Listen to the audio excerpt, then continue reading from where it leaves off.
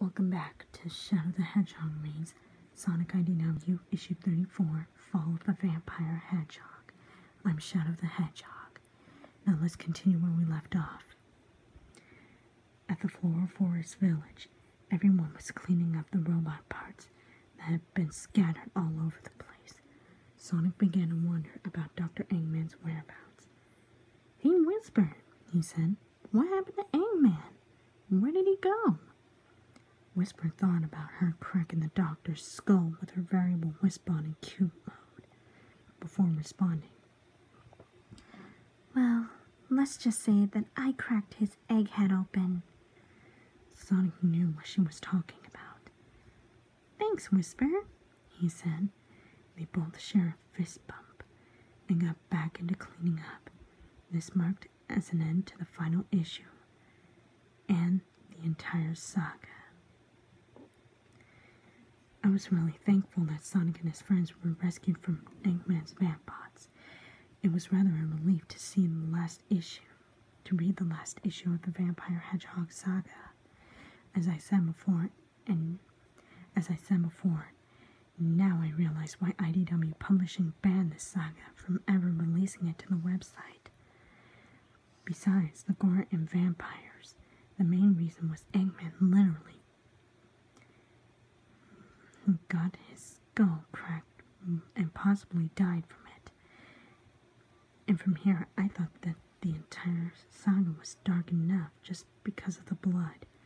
Now that Eggman got killed, Sonic and his friends wouldn't have to worry about saving the world anymore. Five minutes later, I contacted Brandon via Gmail about the Vampire Hedgehog saga and my honest opinion on it as a whole. He told me that Alexander McFarlane wanted to kill Dr. Eggman just so Sonic and his friends can bring some justice for the world. He stated that the good thing about it was that they can finally take a lifelong vacation. However, the bad thing about it was that this would have marked the end of the entire Sonic the Hedgehog franchise.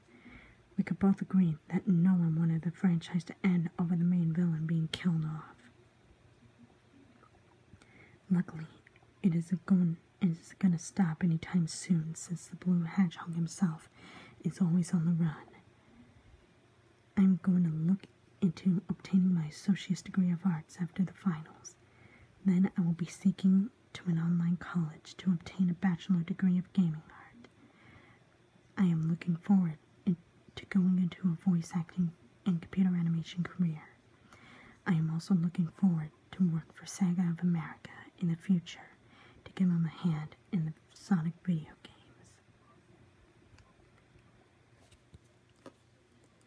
And that was Sonic IDW issue 34 Fall of the Vampire Hedgehog, a Sonic IDW Lost Comic Creepypasta, written by Bailey Maloney. What do I think of it? To be perfectly honest, I actually find this story really good. In addition, I actually I think we all find it very, very nice. We all find this series very nice. The paragraph structuring was good, the sentence structuring was good.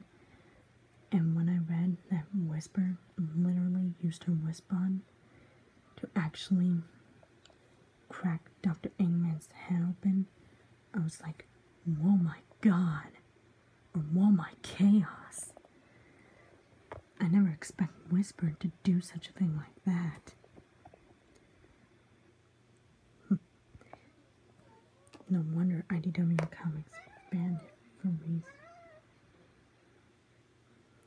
Now, overall, I think this story is actually really good. And Bailey Maloney, you're doing a really good job of writing these stories. Michelle and Linus, we want to thank you for reading this in this Sonic Creepypasta series, and we hope that you like Sonic IDW issue 34 Fall of the Vampire Hedgehog. Now, what do you all think of this story? Did you all like it or did you not? And did you enjoy the series or did you not? And did you all enjoy the Sonic IDW Lost Comic Creepypasta series or did you not? Feel free to let me know in the comment section down below.